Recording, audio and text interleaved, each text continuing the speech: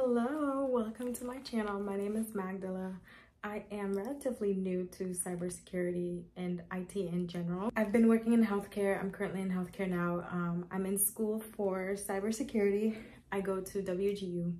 And in 2022, I was like, okay, I don't want to do respiratory for the rest of my life.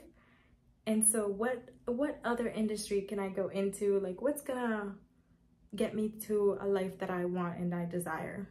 Um, because you know, like with healthcare, you're working night shift, it's tough.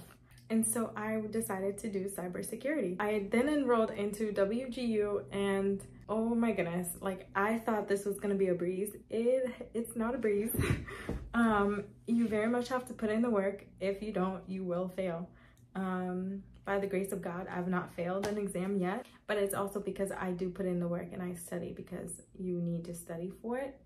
Um, with that being said, one of the courses at WGU is CompTIA 1102 and the 1101 exam. Right now, I'm gonna tell you guys how to pass the 1102 exam. So I took the 1102 exam. It was my first ever IT certification and oh my goodness.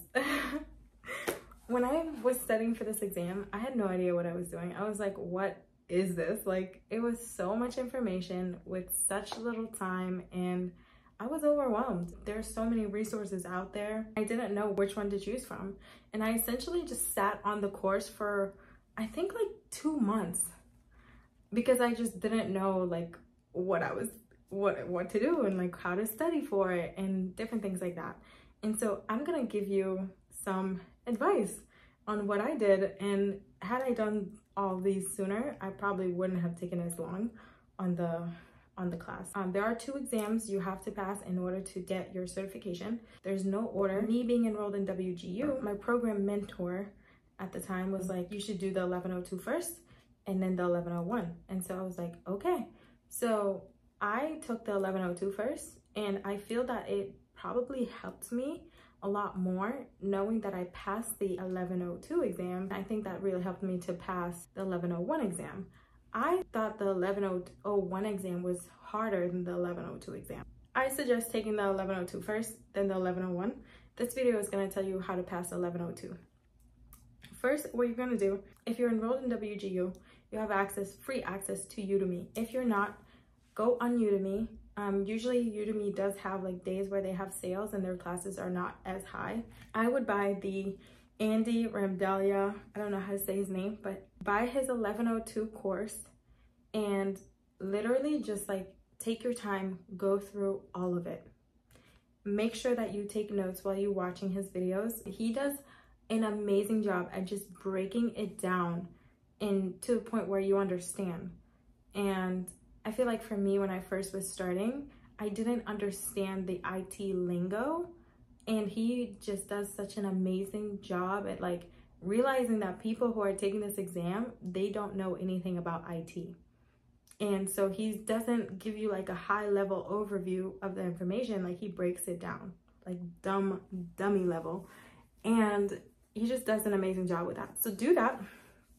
And then after you do that like if there's some information that you're still feeling like okay i need a little more information on that then I would go to Professor Messer and like review like some of his videos.